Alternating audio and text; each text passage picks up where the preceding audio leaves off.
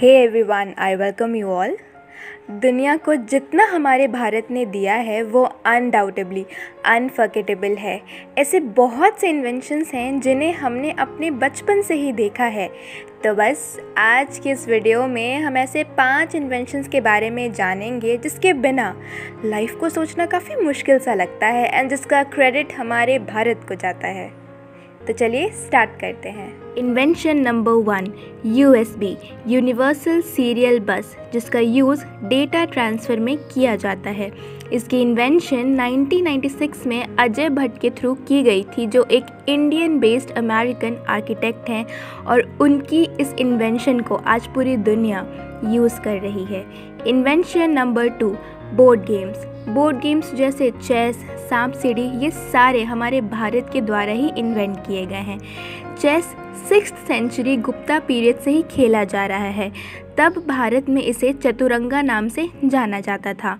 And सांप सीढ़ी जैसे इंटरेस्टिंग गेम थर्टीन सेंचुरी में इन्वेंट किया गया था बाय पोएट ज्ञानदेव, जब इसे मोश पट के नाम से जाना जाता था।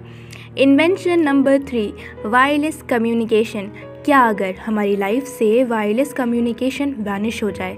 हालाँकि हिस्टोरियंस इसका क्रेडिट मार्कोनी को देते हैं। जगदीश चंद्र बोस ने इसकी इन्वेंशन मार्कोनी से 200 इयर्स पहले ही कर ली थी 1895 में, और रेडियो वेव्स की हेल्प से फ़र्स्ट वायरलेस कम्युनिकेशन उन्होंने ही किया था।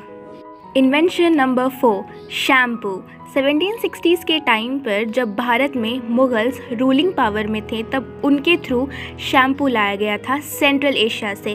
उस टाइम हर्बल शैम्पू यूज़ में थी।